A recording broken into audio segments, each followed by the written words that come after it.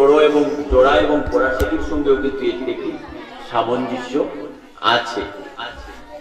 তো দেখেন, ওই পরা প্রকৃতিতে সর্বোচ্চ লুপ যেটি সেটিকে বলা হয় বৈকুণ্ঠ গোবিন্দের আবাস বৈকুণ্ঠ সেই বৈকুণ্ঠ গোবিন্দের চারটি বিগ্রহ। প্রধানত চারটি। চারটির নাম কি? বাসুদেব শঙ্কর্ষণ প্রদ্যুম্ন অনিরুদ্ধ। এই চারটি বিগ্রহ। এই চারটির প্রত্যেকটি আবার তিনটি করে বিগ্রহ আছে। বৈভব প্রকাশক বিগ্রহ, বৈভব প্রকাশক মূর্তি, প্রত্যেকটি চারটি তিনটি করে। চারটি তিনটি করে যদি হয় তাহলে তেসাইরা বারো। সেই বারোটি বৈভব প্রকাশের বিগ্রহের নাম অনুসারে আমাদের এই দ্বাদশী মাসের নামকরণ করা হয়েছে। সেটি কি? প্রথম বাসুদেবের চারটি বৈদিক প্রকাশক বিগ্রহ হচ্ছে কেশব নারায়ণ, বিষ্ণু। তারপর হচ্ছে মাধব মাধব গোবিন্দ মধুসূদন। তারপর হচ্ছে ত্রিবিক্রম ব্রাহ্মণ শ্রীধর। তারপর হচ্ছে তারপর হচ্ছে ঋষিকেশ পদ্মনাভ দামোদর। এই দ্বাদশটি মাসের নামকরণ অনুসারে দ্বাদশটি বিগ্রহের নাম অনুসারে দ্বাদশটি নামকরণ করা হয়েছে। এই দ্বাদশ বিগ্রহের মাধ্যমে বৈকুণ্ঠ রূপ সংরক্ষিত বৈকুণ্ঠ রূপ সংরক্ষিত থাকে এই দ্বাদশটি বিগ্রহের মাধ্যমে। এই দ্বাদশটি বিগ্রহের আরও তাৎপর্য আছে। সেই তাৎপর্য অন্য সময় যাওয়া যায় সেই সেই দ্বাদশটি বিগ্রহকে আমরা কেমন করে ভূষণ লালন পালন করি দেখেন। আমাদের আমাদের এই দেহে দেখে আমরা অনেকেই তিলক ধারণ করি না। আমরা তিলক ধারণ কিন্তু দ্বাদশ অঙ্গে করি। এত ব্যতীত কিছু করা হয় না। আমরা তিলক ধারণ করি, দ্বাদশ অঙ্গ। সেই দ্বাদশ অঙ্গ আমরা জানি। নাভিমণ্ডলের উপরে সেই দ্বাদশ অঙ্গ। সেই দ্বাদশ অঙ্গ কিন্তু নাভিমণ্ডলের উপরে। এবং সেই দ্বাদশ অঙ্গে কোন অঙ্গে কোন নামে তিলক ধারণ করতে হবে তারও কিন্তু সুস্পষ্ট বর্ণনা আছে। তারও সুস্পষ্ট বর্ণনা আছে। সেই দ্বাদশটি বিগ্রহের নাম অনুসারে আমাদের শরীরের দ্বাদশ অঙ্গে আমরা তিলক ধারণ করি। সেই দ্বাদশটি বিগ্রহের নাম অনুসারে আমাদের শরীরে দ্বাদশ অঙ্গে আমরা তিলক ধারণ করি। তার মধ্যে তার মধ্যে সর্বোচ্চ যেটি সেটি হচ্ছে কেশবায়ন। কেশবায়ন কোথায়? কেশবায়ন কেশবায়ন। কেশব কোথা থেকে এসেছে? বাসুদেব কেশব কার ওপর নাম তাও আমরা জানি সেই আলোচনায় যাব না। এই দ্বাদশ সঙ্গে তিলক করলাম।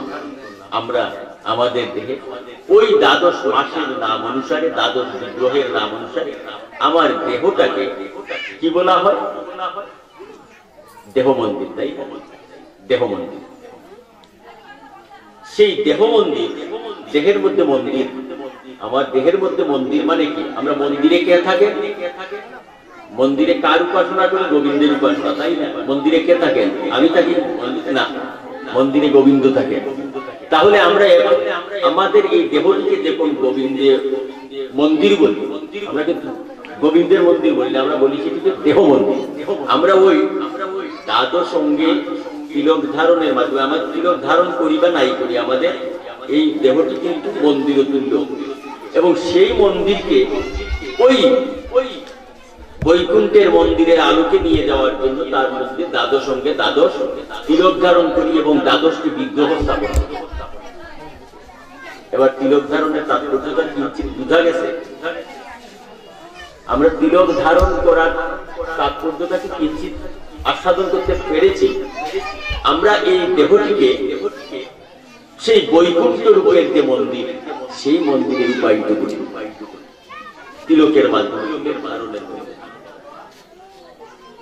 আমাদের মন্দিরে গোবিন্দের আসন। আমরা প্রতিটি দিকে কিন্তু গোবিন্দের জন্য আমাদের সাধ্য অনুযায়ী সামর্থ্য সামর্থ্য আমরা যদি পারি, তাহলে আলাদা গোবিন্দের গৃহ নির্মাণ করি। সামর্থ্য যদি না থাকে, আমরা যে গৃহে অবস্থান করি, সেই গৃহের একটি কক্ষ।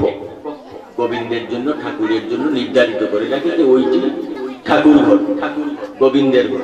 তাই না?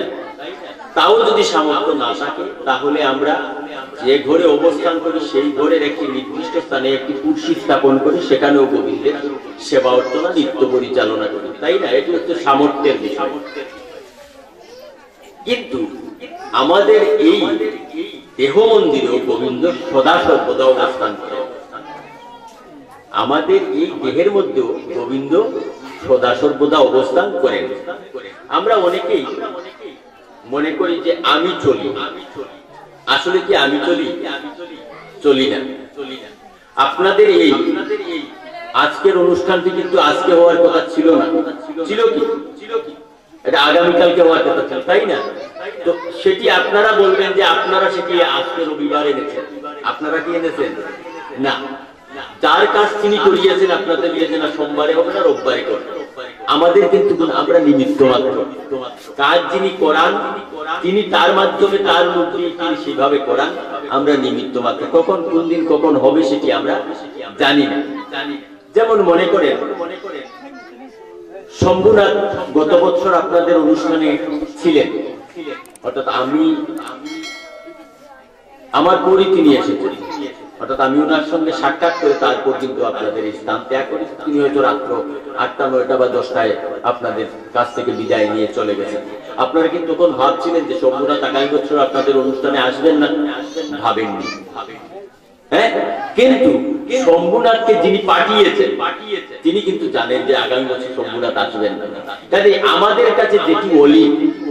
অসম্ভব সেটি একজন না একজনের কাছে বাস্তব। আমরা আমরা গত বছরের অনুষ্ঠানে যারা ছিলাম, অনেকেই হয়তো এই বছর উপস্থিত নাই। কেউ হয়তো শারীরিক কারণে, কেউ হয়তো অন্য কারণে উপস্থিত নাই। সুতরাং আমাদের এই যে চলার পথ, আমরা ভাবি, আমরা চিন্তা করি যে আমি করি। আসলে আমি করি না, আমি নিমিত্ত মাত্র।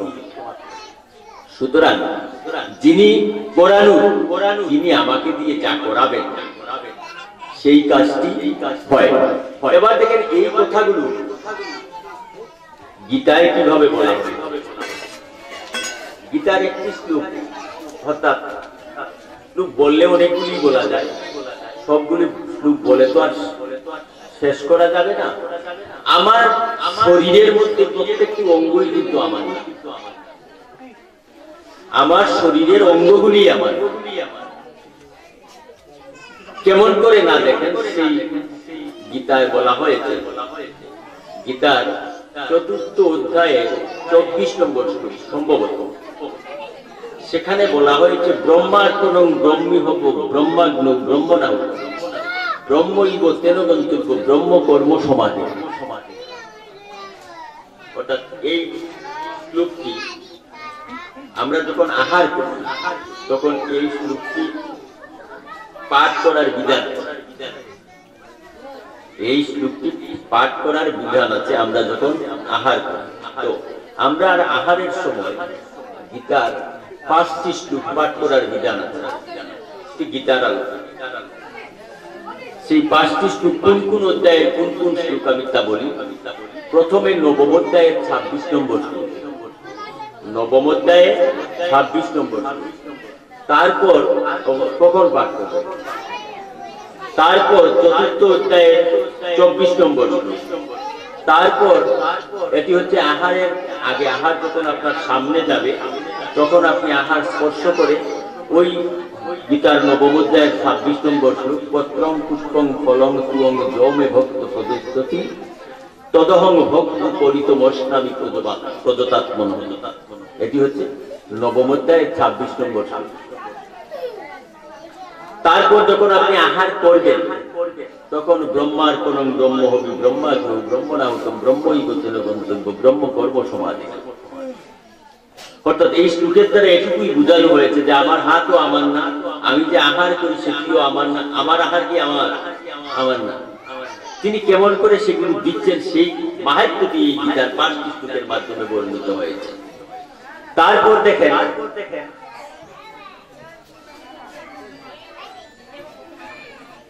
তারপর দেখেন যে কথাটি বলা হয়েছে, সেটি হচ্ছে তৃতীয় অধ্যায়ে চোদ্দ এবং পনেরো নম্বর তৃতীয় অধ্যায়ের চতুর্দশ এবং পঞ্চদশ। তারপর সর্বশ্রেষ্ঠী হচ্ছে পনেরো অধ্যায়ের চোদ্দ নম্বর এই শ্লোকগুলি শ্রীমদ ভগবত গীতা আছে, সেই শ্লোকগুলি আপনাদেরকে পাঠ করিয়ে আমি সেই শ্লোকগুলি তাৎপর্য বলব এবং তার প্রেক্ষিতে অর্থাৎ আমি আমার না আমি কিন্তু আমার তো সেই কথাগুলির প্রাক্ষলিত তাৎপর্য সংক্ষেপে বলার চেষ্টা করব। দেখেন আমি প্রথমে ওই যে ব্রহ্মার্পণ ব্রহ্ম ব্রহ্ম কি আমরা ব্রহ্ম কি জানি? অর্থাৎ ব্রহ্মার্পণ ব্রহ্ম যদি জানতে হয় তাহলে আমরা আগে গুরু ব্রহ্মা, গুরু বিষ্ণু, গুরুদেব মহেশ্বর গুরুদেব ও পরম ব্রহ্ম। এখানে কিন্তু প্রথম বলা হয়েছে গুরু ব্রহ্ম, বিষ্ণু এবং শিব। ব্রহ্মা, বিষ্ণু এবং শিব। প্রথমে বলা হয়েছে গুরু ব্রহ্মা, গুরু বিষ্ণু এবং গুরু শিব। অর্থাৎ ব্রহ্মা ও গুরু। ব্রহ্মা আমরা জানি। জানি কি? ব্রহ্মা আমরা জানি। বিষ্ণু এবং শিব, আমরা চিনি। সেই তৃতীয় আলোচনায় গেলে কিন্তু আমার সুখের কিঞ্চিত আলোচনা করা সম্ভব হবে তাহলে গুরুকে আমরা ব্রহ্মা, বিষ্ণু এবং শিব বলে জানি। ত্রিবিধ শক্তির সমন্বয় গুরুর মধ্যে আছে। তারপর বলা হয়েছে গুরু দেব পরম ব্রহ্ম, সেখানে কিন্তু ব্রহ্মা বলা হয়নি, পরম ব্রহ্ম বলা। আগে বলা হয়েছে ব্রহ্মা, পরে বলা হয়েছে ব্রহ্ম। অর্থাৎ গুরু ব্রহ্মা, গুরু বিষ্ণু, গুরুদেব মহেশ্বর। মহেশ্বর মানে শিব। গুরুদেব পরম ব্রহ্ম। সেখানে কিন্তু ব্রহ্মা বলা হয়নি, বলা হয়েছে পরম ব্রহ্ম। পরম ব্রহ্ম তাহলে ব্রহ্মর আবার আছে, ব্রহ্ম আছে, আবার পরম ব্রহ্ম। তাই না? হ্যাঁ? তো দেখেন দেখেন সেই আলুকে ব্রহ্মকে। সেটি যদি জানি, তাহলে আমরা ওই যে ব্রহ্মার্পণ ব্রহ্ম হবে, ব্রহ্মাগ্ন ব্রহ্ম নাম সেটি জানা যাবে। তো তো পরম ব্রহ্ম হচ্ছে রনাদি আদি গোবিন্দ। মানে ব্যাখ্যার মাধ্যমে না বুঝিয়ে সহজ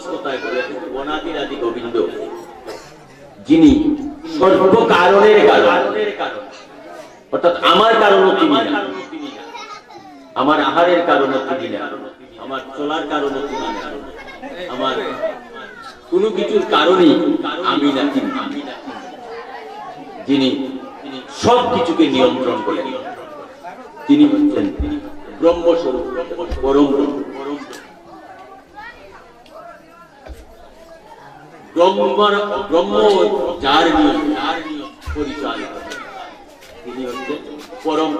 হচ্ছে একমাত্র। একমাত্র। পরম আমরা যদি প্রতিটি শব্দের সংস্কৃত বলি বাংলা বলি তার বাংলার মধ্যেও কিছু জটিল শব্দগুলি আছে, সেই শব্দগুলিকে যদি আমরা সহজ সরলভাবে জানার এবং বোঝার চেষ্টা করি, তাহলে কিন্তু সেটির সমাধান আসবে। আসবে। সেই যে ব্রহ্মার্পণ ব্রহ্ম ব্রহ্মার্পণ ব্রহ্ম, দেখেন আগে কিন্তু বলা হয়েছে ব্রহ্মা, পরে বলা হয়েছে ব্রহ্ম। ওই যে আখার এই আকারের তফাতে কিন্তু অনেক তফাত হয়ে যায় তফাত হয়ে যায়। এই আকারের তফাতে অনেক তফাত হয়ে যায় ব্রহ্মার্পণ ব্রহ্ম। কবি ব্রহ্মাগ্নু ব্রহ্ম নাম ব্রহ্ম নাম তো দেখেন, আমার হাত আমার না। আমি আহার করতেছি, যে জিনিসগুলি দিতেছি সেগুলিও ব্রহ্মস্বরূপ। অর্থাৎ এই দান কি আমার? আমার যদি হতো, তাহলে আমি আমার চাহিদা মতো জমিতে ত্রিশমন ফলানোর চেষ্টা করতাম। কিন্তু যাতে প্রতি ফলন হয়, সেই অনুযায়ী চেষ্টা করি করি না। কিন্তু এমনও দেখা যায় যে ত্রিশ কিয়া কেয়ারে কোথায় এক হয় না। আমরা কি কিছু করতে পারি? আমার সাধ্য মতো কোনো ব্যক্তি যদি সেই ত্রিশমন কেড়ে নিত, তাকে কি আমি জীবিত রাখতাম? রাখতাম না। এভাবে খুদের সৃষ্টি হতো। কিন্তু সেটি আমার নিয়ন্ত্রণে না।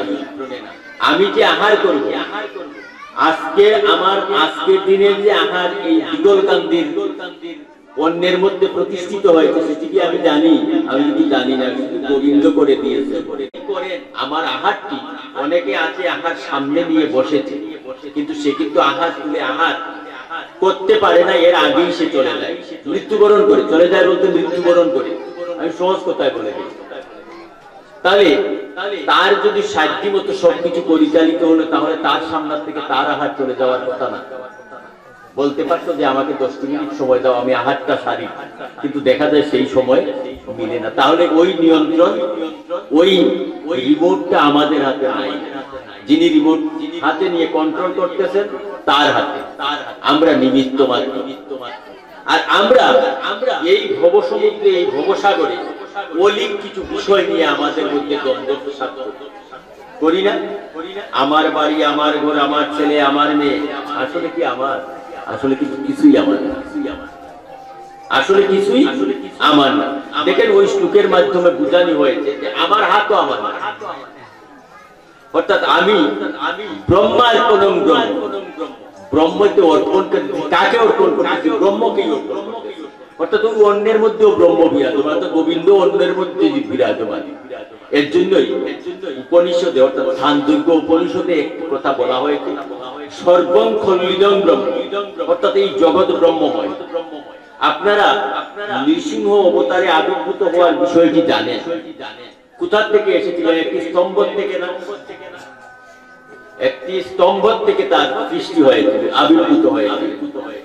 সুতরাং এই জগৎ ব্রহ্মময়। আমরা যাহার করি, আমার সামনে যেটি এসেছে, সেটিও ব্রহ্মস্বরূপ আমার হাত। ব্রহ্মকে ব্রহ্মর দ্বারা ব্রহ্মতে অর্পণ করা হচ্ছে। ব্রহ্মকে ব্রহ্মর দ্বারা ব্রহ্মতে অর্পণ করা হচ্ছে। আমার ভিতরেও ব্রহ্ম। আমার ভিতরেও ব্রহ্ম। হাতটিও ব্রহ্ম। অন্য ব্রহ্ম। তাহলে কি ব্রহ্মার কোন ব্রহ্ম হবি ব্রহ্মার? আর ভিতরে যেটা দিতেছি ব্রহ্মের অগ্নিতে। আমাদের ভিতরে যে আগুন আছে সেটি কি আপনারা বিশ্বাস করেন? আমাদের ভিতরে কিন্তু আগুন। কারণ কারণ আমি বলি, এখানে অনেকেই স্কুল, কলেজে পড়ুয়া শিক্ষার্থীরা তাদেরকে যদি তাদের মতো করে, আমার মতো করে বুঝাই, তাহলে কিন্তু হবে না। তাদেরকে তাদের মতো, অর্থাৎ তাদের পাঠ্যপুস্তকের আলোকে যদি সেটিকে বোঝানো হয়, তাহলে তারা সেটি বুঝবে এবং মানবে এবং এটি পড়ার প্রতি হবে। অক্সিজেন ছাড়া কি আগুন জ্বলে? আচ্ছা এখানে তো class six, seven, eight, nine ten এর বাচ্চারা আছো, আসো না। ইন্টারমিডিয়েট ডিগ্রি বা তার চেয়েও শিক্ষিত আছে। অক্সিজেন ছাড়া কি আগুন জ্বলে? আমরা আমরা অক্সিজেনের ধর্ম এবং ব্যবহার পড়েছি শিখেছি। অক্সিজেন ছাড়া কি আগুন জ্বলবে? জ্বলবে না। তাহলে আমরা শ্বাসের সঙ্গে কি গ্রহণ করি? অক্সিজেন। সেটি কিসের সহায়তা করে? আমরা কিন্তু শ্বসন প্রসেদন এগুলো পড়েছি সহজ কথায় বলব। সেই শ্বসন ক্রিয়া কিন্তু অক্সিজেন ছাড়া চলে না। আমরা এই শ্বাসের মাধ্যমে অক্সিজেন নিচ্ছি, নিয়ে কি করছি? জ্বালানিতে সহযোগিতা করছি। আবার অক্সিজেন যেখানে জ্বালানো হয়, সেখানে কিন্তু কার্বন ডাইঅক্সাইড সৃষ্টি হয়। অক্সিজেনের আউটকাম অর্থাৎ যেখানে আগুন জ্বলে, সেখানে কিন্তু কার্বন ডাইঅক্সাইড এবং কার্বন মনোক্সাইড আসে। কার্বন মনোক্সাইড যদি আসে, তাহলে তার মৃত্যু হবে। সে যদি গ্রহণ করে, তাহলে সে মৃত্যুবরণ করবে। আর কার্বন ডাইঅক্সাইড সেটি লঘু আকারে। তাহলে আমরা বাতাস থেকে অক্সিজেন গ্রহণ করি। আর ত্যাগ করি কার্বন ডাইঅক্সাইড। তাহলে আমার মধ্যে যদি আগুন না জ্বলে, তাহলে অক্সিজেন আসে। গ্রহণ করি কেন? আর কার্বন ডাইঅক্সাইড ত্যাগই বা করি কেন? তাহলে আমার ভিতরে যে মেশিনটি পরিচালিত হচ্ছে, সেটি একটি দহন ক্রিয়া সম্পন্ন সেই দহনের মাধ্যমে আমি যে সমস্ত জিনিস আহার করি, সেগুলি পরিপাক হচ্ছে। আমরা বিজ্ঞানের ভাষায় বলি সেটি পরিপাক। সেই পরিপাক ক্রিয়ার মাধ্যমে সেটি বিভাজিত হয়ে তার সার বস্তুটুকু আমরা গ্রহণ করি এবং ও সার বস্তুটুকু আমরা বর্জন বর্জন তো এই দেখেন শ্রীমদ ভগবত গীতার শুরু কিন্তু এই কথাগুলি বলা হয়েছে হাজার হাজার বছর গীতার আবিষ্কারের কাহিনী আমরা জানি। যেটা কখন প্রথম বলা হয়েছিল তাও আমরা জানি, সেই কথাগুলি এখানে বলা হয়েছে। আজ যেটি বিজ্ঞান স্বীকৃতি দিচ্ছে। তখন কিন্তু এই বিজ্ঞানের আলোক ছিল না। সুতরাং বিজ্ঞানের সঙ্গে যে গীতার সামঞ্জস্য আছে, সেই কথাটি আমি বলার চেষ্টা করছি এবং সেই কথাটি বললে আজকাল যারা বিভিন্ন বিভিন্ন শ্রেণীতে বিভিন্ন ক্লাসে অধ্যয়ন করছে, তারা যখন দেখবে যে না, গীতার কথার সঙ্গে তার পাঠ্যপুস্তকের কিছু সামঞ্জস্য আছে, তখন সেও গীতা পড়তে অনুপ্রাণিত হবে। গীতা ধর্মের পরিপূরক। গীতা জাগতিক জগতের যে শিক্ষা আমরা গ্রহণ করি, সেটির সঙ্গে কোনো সাংঘর্ষিক অবস্থান নাই। তো এই যে ব্রহ্মার কোন ব্রহ্মের অগ্নিতে আমরা আহুতি দিই আমরা বাড়িতে বিভিন্ন অনুষ্ঠান করি না। অনুষ্ঠান শেষে কি হয়? যজ্ঞ হয়। যজ্ঞ হয় না পুরুই আগুন ধরিয়ে দেন, ঘি ডালেন তো আমাদের এখানে কিন্তু যজ্ঞ হচ্ছে, নিত্য আমরা আহারটা একটি যজ্ঞ বিশেষ। আহার যে করি, আহারটা কিন্তু একটি যজ্ঞ বিশেষ। সুতরাং ওই আহার করার একটি সুনির্দিষ্ট নিয়ম আছে শাস্ত্রীয় ভাবে সেটি আমরা মানি না। সেটি আমরা মানি আহার করার কিন্তু একটি সুনির্দিষ্ট বিধান আছে শাস্ত্রীয় ভাবে সেই বিধানটা আমরা যথাযথভাবে অনুসরণ এবং অনুকরণ করি না। আমরা আহারে তাড়াহুড়া করতে নাই।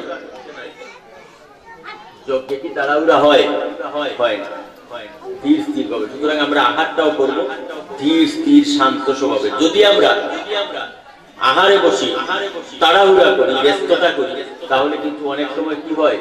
বিঘ্ন সৃষ্টি হয়। আমরা যেটিকে বলে বিউন লাগে, বান লাগে। তাই হয় না? কিন্তু সেটি কিন্তু আসলে সেই সেখানে কোনো ব্যস্ততার সুযোগ নাই। আমরা ধীরে ধীরে সেই কাজটি করব। কারণ সেটি কি? আমি যদি জানি যে সেটি আমার একটি যোগ্য ক্রিয়া। এবং গীতার তাই বলেছে, ব্রহ্মার কোন ব্রহ্মী হবি ব্রহ্মাগ্নি। ব্রহ্মের অগ্নিতে ব্রহ্ম যে আগুনটি আমার মধ্যে জ্বালিয়ে দিয়েছেন, সেই আগুনের মধ্যে আমি আহুতি দিয়েছি ব্রহ্মইগতে ন ব্রহ্মার কোন ব্রহ্মের অগ্নিতে আমরা হাউতি ব্রহ্মইগতে এবং কর্মটা সমাধিত সম্পন্ন হচ্ছে ব্রহ্মের মধ্যে। আমার কিছুই নেই। তাহলে কি? আমি যে আমার হাত, আমার পা, আমার চুখ আমার কান, আমার নাক, আমার ত্বক, বলি সেগুলি কি আমার? আমরা কত চেষ্টা করি শরীরের সৌন্দর্য ধরে রাখার জন্য। সেটি কি পারি? পারি না। কালের প্রবাহমান দ্বারায় সেটি এক সময় ক্ষয়িষ্ণু হয়ে যায়, সংকুচিত হয়ে যায়। কিন্তু তার জন্য কিন্তু আমরা আপ্রাণ চেষ্টা করি, কিন্তু শেষ রক্ষা হয় না। চেষ্টা কি আমরা পারি পারি না। তার কারণটি কি সেগুলির নিয়ন্ত্রণ করতে আমি না। সেটির নিয়ন্ত্রণ যিনি করেন, তার দ্বারাই সেটি নিয়ন্ত্রিত হচ্ছে। এবং আমরা এই জড়জগতে যারা এসেছি জড় প্রতিটি বস্তু ক্ষয়িষ্ণু, ক্ষয় হবে, শেষ হবে, নিঃশেষ হবে। আমরা টেবিল, চেয়ার, কাঠ, বই, এগুলো আছে না, এগুলি জড় বস্তু এগুলি ধ্বংস হয়ে যায়, শেষ হয়ে যায়, নির্দিষ্ট সময় পরে। আমরাও কিন্তু শেষ হয়ে যাই। কিন্তু আমার মধ্যে আরেকটি ভাব আছে যেটি যেটি নষ্ট হয় না অভিনষ্ট আমরা মৃত্যুর পর একজন মানুষের মধ্যে পার্থক্য দেখি কি? আগে তার চেতন শক্তি ছিল, ডাকলে সাড়া দিত, নড়াচড়া করত, এখন আর তার মধ্যে সেটি নাই। সেটি আরেকভাবে লুপ্ত হয়। সেটি হয় কি মানুষ যখন জ্ঞান হারায় আমরা বলি